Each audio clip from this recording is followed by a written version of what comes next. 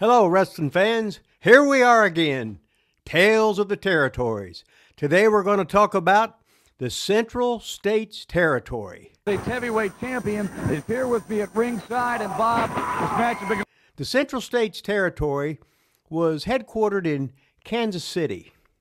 And so they wrestled in uh, all the way up through Iowa, Kansas, Missouri, Nebraska. It was a, a, Midwest, the Midwestern thing. Let's just put it that way. At this time, now I'm talking about 1987. When I went there, they had lost their powerful St. Louis TV. St. Louis was the best drawing town they had there, of crowds sometimes 18,000 people to Checkerdome. But anyway, that that was gone. The owner of that was the great Bob Geigel. Bob Bob Geigel was president of the NWA for years and years. I guess he did a job, or, they wouldn't have kept they wouldn't have kept uh, voting him in there. Anyway, let's be talking about some of the players of the Kansas City territory. Number one on the area, the man had been there the longest time, the legendary Bulldog Bob Brown. Bulldog Bob Brown was famous for a lot of things. Number one was we he had the crew cut haircut. He was usually a bad guy, but when he got up against me, all of a sudden the people loved the Bulldog. here used to seeing. He's got one thing on his mind, and that's revenge against. and they loved to see him go after me, and they they love to see him chase my valet Brenda Britton, and which they, everybody, all the fans called her Fleabag. So Bulldog Bob Brown, he was a thorn in my side. I did blind him though. Got a little re- revenge on that. The thing about Bulldog, he had the two Cadillacs. He had the uh, the white Cadillac, and then he had the one that was brownish purple or whatever it was. But he, I think he'd save up all of his money and buy the same Cadillacs about every five or seven years from the, the same old woman. So the Bulldog was always famous for his uh, for his Cadillacs. Bob Brown now. Look at the so-called living legend of Bob.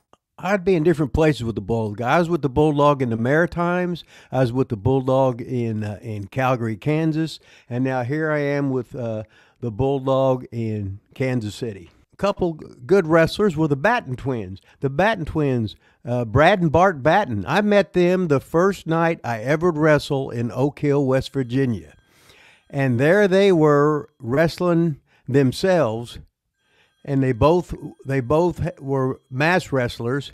I met the Batten twins in Oak Hill, West Virginia. The first time I ever I ever had a match in Oak Hill, West Virginia, at the WOAY TV studio there. Uh, me and my buddy Steve Cooper went up there since he was from Seth, West Virginia.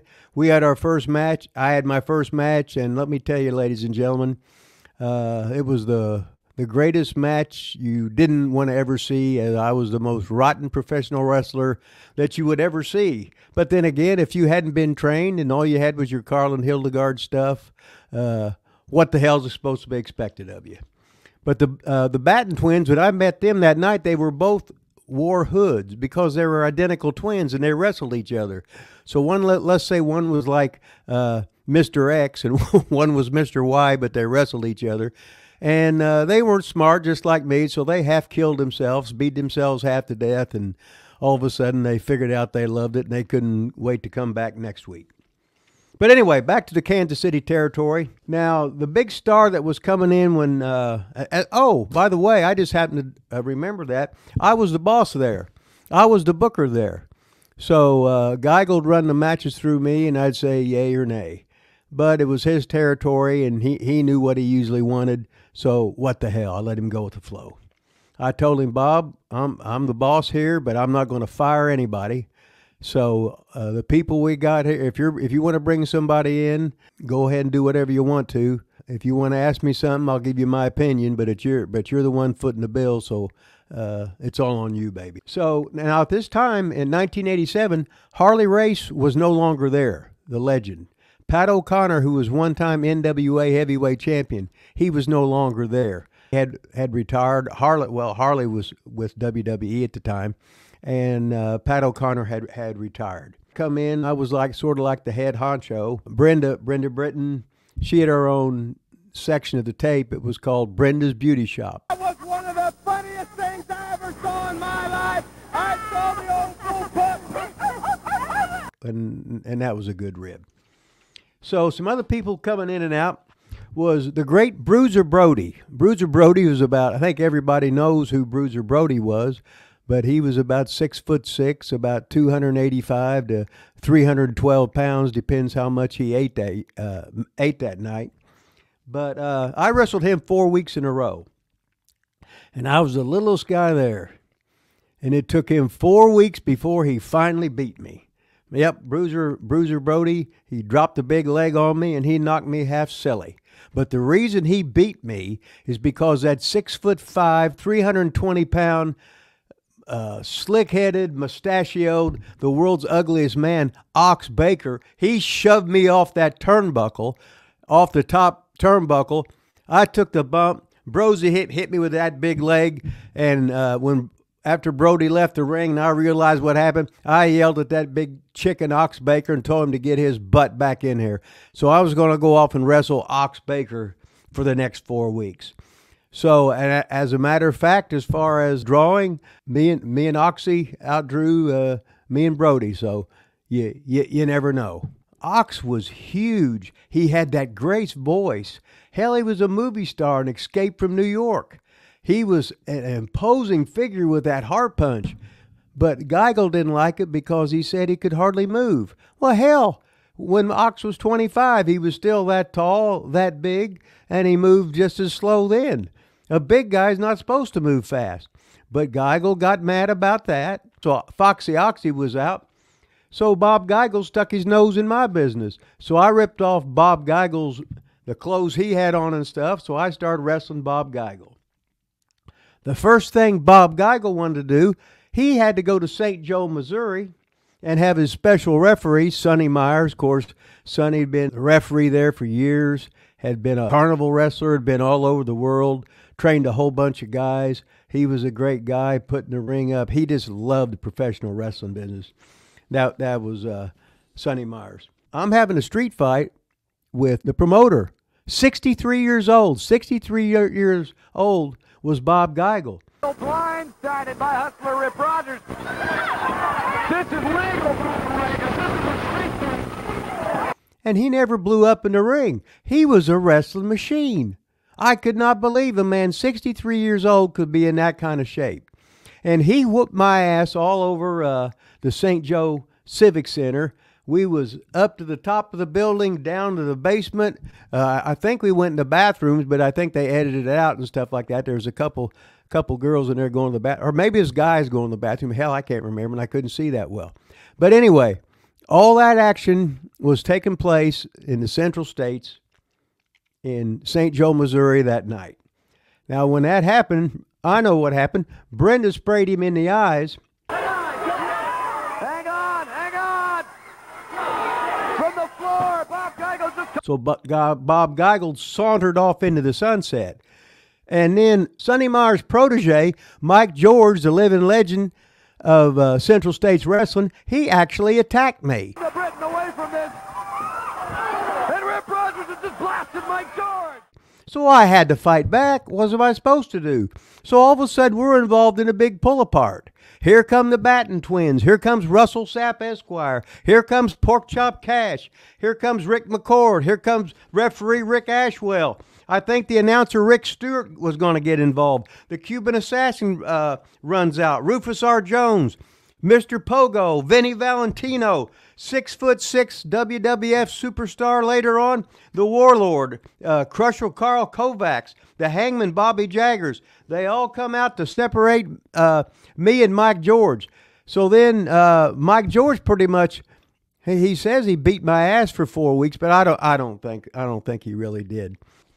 Now, when Bruiser Brody was there, after he wrestled me, he re- wrestled uh, uh, Abdullah the Butcher. And when you knew when Bruiser Brody came in with Abdullah the Butcher, there was going to be action, there was going to be excitement, and there was going to be a lot of blood. And that's exactly what happened in weeks one, two, three, and four. as they would be fighting in the building, all over the building. I think they almost went out front. But Abdullah wore those long white tights, and they was a, as Gordon would Solie say, his face was that of a crimson mask, and his white working at the hospital, it was it, it, it was nothing but blood. And Brody with that long hair down to his shoulders, and then big old boots, and him yelling "Huts, Huts, Huts, Huts." He was he was bloody. They was just they was just both uh, nothing but a bloodbath. And I was glad to see those two do that because, but I was just happy as hell that it wasn't me. Brenda Brenda Britton, my valet, she had her own uh, TV show. Well, insert whatever you call it. It was called Brenda's Beauty Shop. Have I a special guest for you this week? The hustler, Rip Rogers. And the last time I remember being on there, it was me talking in there. It was uh, Pork Chop Cash. It was the Warlord, Crusher Carl Kovacs. And I think Bobby Jagger stuck his nose in there, and, and we beat him up because he, he all of a sudden he turned, uh, as Pez Whatley would say, goody two shoes white boy, and all of a sudden he was a good guy. So we eliminated Bobby Jaggers, and uh, we were we were the kings of Brenda's Beauty Shop. Now pork the pork chop cash, he was involved in a uh, a pretty good feud with uh, with Rufus R. Jones. Pork chop cash. Pork chop cash is chop cash is a hillbilly. Rufus had had almost homesteaded there in Kansas City for a long time, and he'd worked uh, down south. He'd worked a lot in North Carolina, but Lu- but Rufus he loved it there. In- Now he's gonna hit him. He hit him with a close fist right there. One, two, three close fists. Now on the uh, the Japanese side of town, let's just put it that way. Uh, let's just put it that way. When uh, they had Mister Pogo was there, as I always called him, as he would ride me in the van a lot of times, the mysterious Mister Pogo. Uh, I was also in Puerto Rico with Mr. Pogo. But Mr. Pogo was famous for taking about one hour showers. I could not believe it.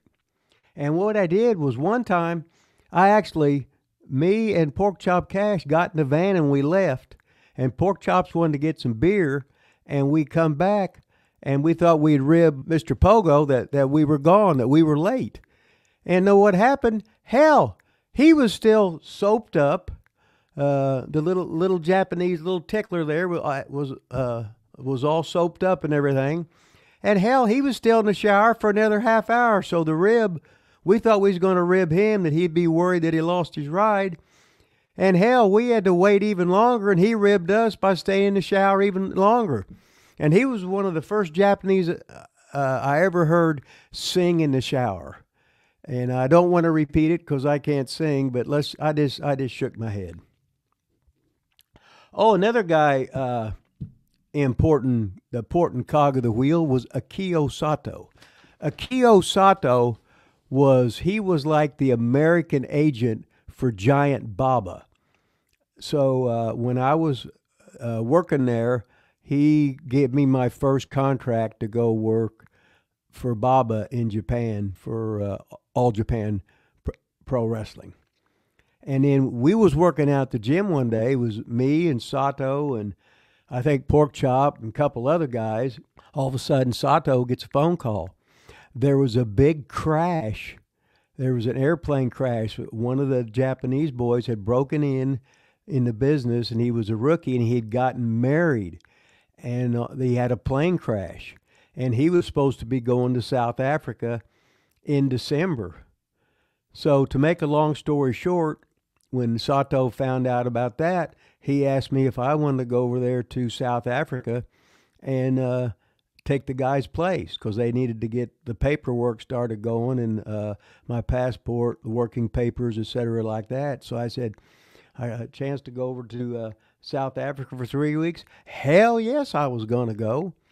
So when I went over to South Africa, that'll be a, a, a new episode that we'll be talking about. When when Sato's around, things happen. Thanksgiving night was always about the biggest night in wrestling in the territory days. Thanksgiving night and Christmas night. And on Thanksgiving we had a we had a hell of a house. Now Bob Geigel had sold his territory. At least he thought he did. Uh, it was either to Vince or Crockett, but either way, they only made one payment or didn't make a payment. So he started up again, running on his own. Now, looking at my my notes here, I just remember that I didn't say anything about Anthony Earthquake Ferris. Anthony Earthquake Ferris, I had him doing a bodybuilding gi- gimmick, a posing gimmick, but the thing was he was about 400 pounds. So it was a little bit of a ribbage on that. Just like Russell Sapp Esquire, he, uh, he would come out to the sharp dressed man. We went out and got him a $10 suit and his, his slit come up to his sleeves and his pants come up to his his ankles there and he come out to the music sharp dressed man and he'd been working on the ring crew for a year and everybody knew who he was but all of a sudden russell sapp esquire he had that big loaded elbow pad and he became one badass you know what now all this time geigel's uh, let's just say, and he's fallen behind in bills and payments and stuff. So he would take in some business partners for a little bit, uh, but he was running out of money. So I told him, I said, now, Bob, he was bouncing check. I think Russell Sapp had like 21 checks he kept in his billfold just to remember, just to remember to, to give him to Bob that Bob would take care of. So I told Bob at, on the Thanksgiving show, he's, he had a, a hell, hell of a house. And I said, well, okay, you owe me last week's pay. So I said, either pay me tonight or I'm out of here. So uh, to make a long story short, Bob went to the box office, settled up. All of a sudden, he was nowhere to be found.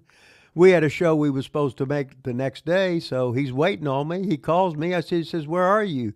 I said, "Oh hell no, you uh, you ran out the back door with all the money. I told you if you didn't, I'd be I'd be getting the hell out of there."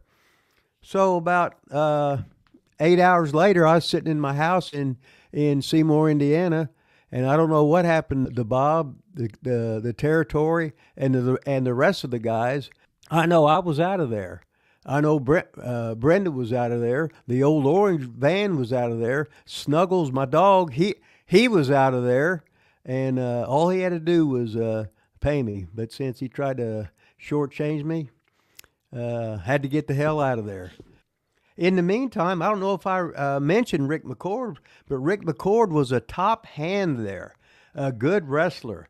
And Rick McCord is now the owner of a big limousine service.